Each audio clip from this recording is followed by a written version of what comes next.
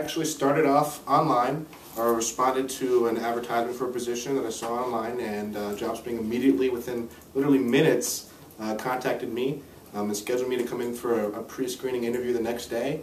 Um, within you know three business days, I was already interviewing at three different companies, and now two weeks later, I got a job offer.